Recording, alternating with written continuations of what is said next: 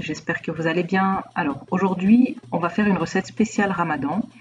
La recette de sfouf, selo, zometa. D'une région à l'autre, on appelle ça différemment. Il y a d'autres différentes variantes. Ici, on va faire une version healthy, donc sans farine, sans sucre, sans matière grasse.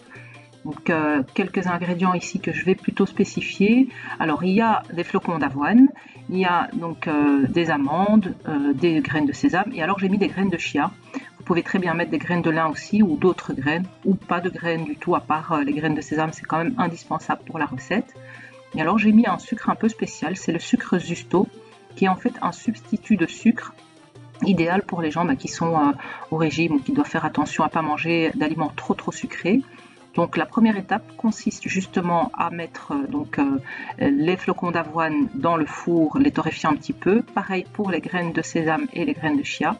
On va réserver ça et on va commencer par mixer donc nos flocons d'avoine qu'on va mettre dans le bol et mixer tout ça 10 secondes vitesse 10 pour obtenir une belle poudre qui ressemble bah, tiens, à de la farine qui aurait été euh, justement torréfiée.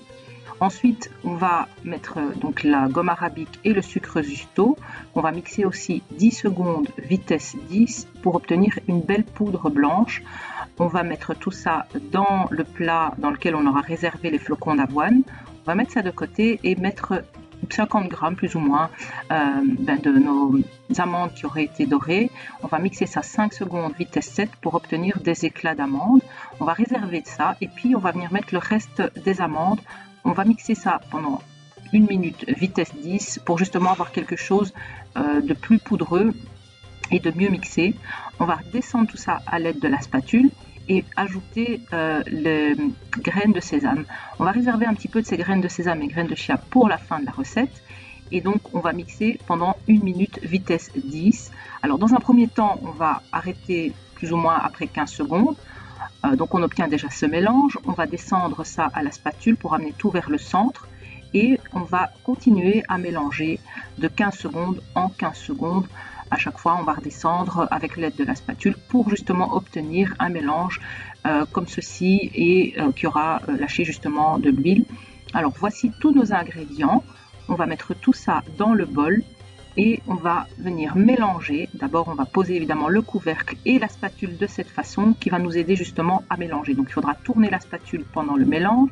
20 secondes, vitesse 4 en sens inverse, c'est très important. Si vous le souhaitez, eh bien vous pouvez remélanger euh, donc, euh, le mélange euh, vous-même et vous obtenez, vous obtenez, du coup une texture un peu poudreuse comme ça. Si vous n'aimez pas, vous pouvez ajouter du miel et ça sera un petit peu plus compact. Moi, j'aime comme ça. Donc voilà, en ben, quelques, quelques dizaines de minutes, on obtient ce fauve comme ça, parfait.